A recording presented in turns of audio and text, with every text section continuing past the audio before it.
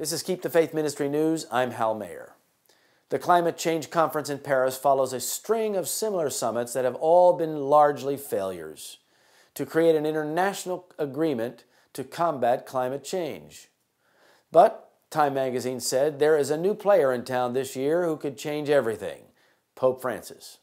On the first day of the conference, Francis said, I am not sure, but I can say to you now or never. Every year the problems are getting worse. We are at the limits, and if I may use a strong word, I would say that we are at the limits of suicide. Paris banned demonstrations and marches in the wake of the terrorist attacks, but activists put 20,000 pairs of shoes in the Place de la République to symbolize absent marchers on the eve of the summit.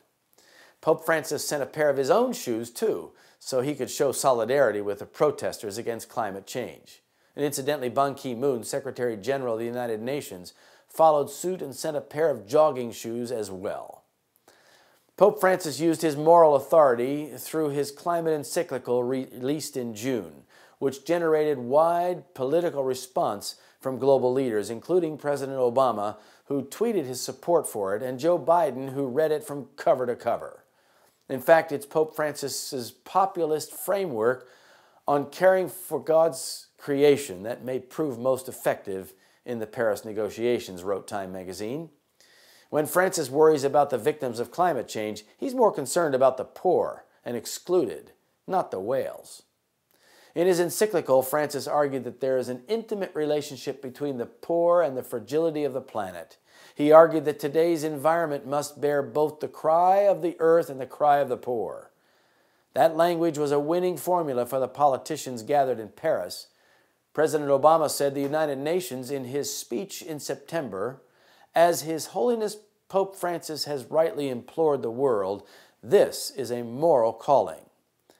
EPA Administrator, Roman Catholic Gina McCarthy, went on the road with the Pope's message, speaking at two flagship Catholic universities, Jesuit run Georgetown University and the University of Notre Dame. She also co authored an op ed with Blaise Cupich, Pope Francis hand-picked Archbishop of Chicago, in which they said that Americans had a moral obligation to act on the climate. The Obama administration has collaborated with Pope Francis on climate change and has made it a bread and butter mainstream issue. And because of the Pope's popularity, his message on climate change gives domestic and global leaders political cover to take new actions across climate. And in September, 11 House Republicans did just that, writing a resolution citing the Pope in their call for the Republican Party to get serious about climate change. Pope Francis laid the groundwork action in Paris and pointed the way forward. He has changed the discussion. Instead of happening from above, it's now happening from below by popular demand in response to the papal appeal.